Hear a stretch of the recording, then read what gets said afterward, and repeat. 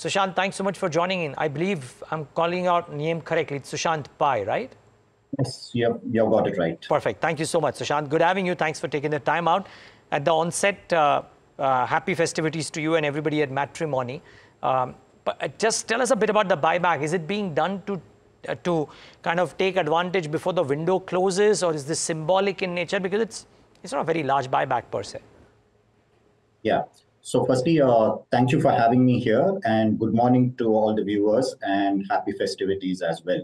So first, uh, you know, this is our second buyback. You know, we did the first buyback in 2022. It is a form of a capital allocation policy. It is a form of returning to the shareholders and there are different forms. So this is one form of it, right? So the second thing is, I think our company is a profitable company. It's a debt-free company. We are a cash-generating company. So we have about, uh, as of 30th June, we had about uh, 382 crores of cash. So from that perspective, it makes sense. And uh, therefore, buyback has to be seen from that perspective in terms of what we perceive as the value for matrimony.com. The second thing on the shareholder bit, right? Uh, there's a little bit of a technicality there. I'll just uh, speak about it. See, uh, you can do up to 25% of the net worth, uh, you know, as buyback. Our net worth is about 288 crores. So we have done the maximum in terms of buyback and the board has approved at a price of 1025. However, since it crosses a particular threshold and it's up to 25%, this also requires shareholders approval and that which we will put forth to the shareholders uh, soon. So from a tax perspective, since this buyback will be concluded only after 1st October 2024, the tax incidence will be by the shareholder and not uh, you know by the company. So the tax will be borne by the shareholder. However i think uh, the shareholders have to look at their own tax brackets uh, look at their own uh, you, you, know tax laws because i think different entities have different types of tax. For example, a resident shareholder would have a different type of tax. Uh, institutions, uh, you know, uh, they manage uh, money on behalf of someone else, so they may may have a different view on all of this. So they need to take into account uh, their entities and then figure out their tax. But for us, uh, I think strategy overrides the tax. You know, that's the way I see it. Uh, so for us, if it makes sense to do a buyback and, you know, tax is only an eventuality out of it. So for us, it makes sense to do a buyback. And that's why we want to do the full uh, maximum amount of buyback by taking shareholders approval. And I think the price is also at a, you know, very fair price. You know, uh, if you, since the price has yeah, also had a over the last uh, you know couple of months to three months. So if you look at the volume weighted average price over three months, it's a good premium of about close to 60%. Uh, right, so that's the way to look at this whole buyback scenario. Okay, thanks. Now we have about seven odd minutes. I would love to understand about the business as well. Uh, Q1, Sushanth, you yourself had been not quite up to the mark. And uh, when I look at what's happened, let's say for the last two, three years, right? The three-year revenue CAGR is what, about 7, 8% or 9%, right? Um, eh, if I'm not wrong. Margins were above the teens. Now they are mid-teens currently. What's happening with the business? Is this, uh, uh do you expect some changes to happen in the near term? Please fill us sure. in. See, this uh, uh, the matchmaking business, right, is highly competitive in nature. You know, there are you know there is a lot of competition in the north. We are leading in the south so it has to be seen in the context of the industry as well so what we are doing is obviously this is not a business that will grow high uh, double digits and so forth because of the nature of the business as well so therefore the what we are doing is that to look at all avenues to bring and uh, to bring make sure that non customers come into the into a foray and that's what we are looking at. So, for example, if you look at in November 2021, we started something called Jodii in the vernacular language play into nine vernacular languages. That is more for non graduates, right?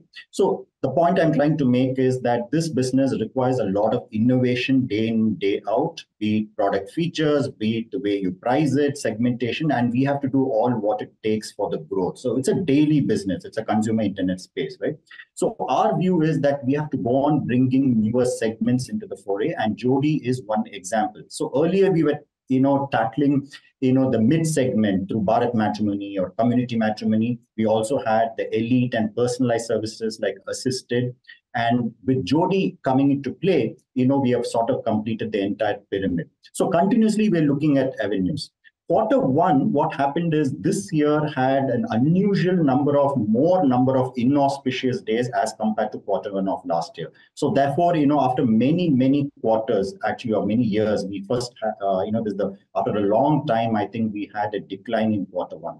As we see the business uh, you know we are looking at various growth levers. Uh, we believe that quarter two is also a, a, little muted quarter. It is expected to be a muted quarter, but however, we believe quarter three onwards, you know, we expect a bounce back to happen from quarter three because of the various initiatives also that we are taking. As we speak, you know, we've also launched, uh, you know, in two markets, Tamil Sushanth, and Kerala markets. Sushanth, I'm sorry, but I have four minutes, so I'm going to try and make it a bit of a rapid fire. Uh, yeah, and maybe we'll have a longer conversation later. So you expect quarter two on, or rather quarter three onwards, things to pick up. Uh, I yes. hear that it's a very busy wedding period until May, once the wedding season starts as well. Does that have a direct impact? And therefore, could FY25 numbers look better than the 8-9% average they've clocked in the last three years? No, I don't think so because you know quarter one has been a muted one, quarter two is looking muter, and and therefore quarter four is traditionally a strong quarter for us. So I don't think we'll uh, be in that sort of a range. Uh, but we will see as it progresses, you know, how we'll do, and we want to do better as we go along. But I don't think we will reach that sort of a range. okay. Okay. Thanks for the candor. The other piece is you cutting down on advertisement expense as well. Is this is this an attempt uh, to shore up margins, or is it a belief that now you do not need as much advertisement in order to grow? I think the short answer is we are at a very good threshold level of marketing right? Uh, we have spent about 46, 47 crores, and we are covering all segments. I think that's good for us. Competition intensity has also reduced in certain pockets. So, given all of that, I think we are in a comfortable space in marketing. And therefore, you know, if you exclude marketing, our gross margins are very good. And uh, with that, you know, we hope that margins also will show some improvement as we go along in the year. Okay, uh, but but maybe maybe post quarter three, once the period, once you said that business starts looking up a bit. Yes. Okay, great. You are exploring new business segments, I believe, beyond matrimony. So, what's one, what would these be? And two, what's the rationale for doing this? Yeah, so uh, the rationale is basically to take advantage of a consumer internet brand. You know, the decades of experience that we have had, we've been here, in the, we are just entering our 25th year. So, to take care of all of those things. And the rationale is our MOA is very, very narrow. So we wanted to make it a little more, uh, you know, broad. And we have taken an enabling resolution and the shareholders have approved it. What businesses will start will be a board subject. As and when we deliberate with the board, we will announce to the market if there is anything that is in the pipeline. But this is this was a more like an enabling resolution, and we will table it as and when we go along. Oh, so sorry. So am I understanding that you've made it an enabling resolution, but there's nothing which is decided or on the anvil about a foray into other brand, other other products as of now beyond matrimony? Yeah, so we are thinking of a couple of things, uh, but as and when it comes, we will announce. So right now, uh, there is nothing to announce. And funding because it has, it has, to be deliberated by the board as well. Got it, got it, got it. Okay, yeah, which is fine. But but funding won't be an issue because I presume you're sitting on a large pool of cash anyway. Which is even post the buyback, I believe the cash on hand would be would be fairly substantial. Yes, yes, we'll still be about 300 crores uh, even after the buyback uh, cost. And these businesses, you know, even if we enter into these businesses, these don't require, these are not capital intensive or people intensive in nature. These are all certain product plays, right? So uh, I think we'll we'll have a frugal investment discipline as well, even if we enter new segments. Yeah, fair, for sure. Uh, one statistic, uh, Sushanth, and that's my last question really. One statistic that I really wanted to uh, understand, and correct me if I'm wrong, of course. You you added what about over two and a half lakh paid subscription paid subscribers, right? But the average transaction value for matchmaking remained flat. I mean, why is that the case? Is there a price downtick that has happened due to competition? What has gone behind this? See, that's uh, that's our segmentation strategy. Like I told you, right, that Jodii, for example, is priced as low as thousand rupees and elite would be priced as high as 50000 rupees so if the mix changes the the product uh, things also changes so it's a segmentation strategy within uh, various communities, within various segments, we price it differently and depend on the proportion of the various products, the price changes. So it's a conscious call on how we price it. Okay, no, but so my, okay, sorry, just extending my last question before we wrap up. Could it happen, Sushanth, that your number of subscribers and the paid subscriptions move up and, and you might be wanting that to happen even if it comes at a lower revenue per user to you? Could that Sure. happen over the course of the next uh, 9 to 18 months? Yeah, so I think our ATV would be very range bound. You know, I don't think there'll be a significant change. But a consumer internet company like us, it's good for paid volumes to go up, right? So it's good to get more people paid into the subscription uh, sort of a thing. So yeah, your your question is uh, right that it's good for paid subscription to move up.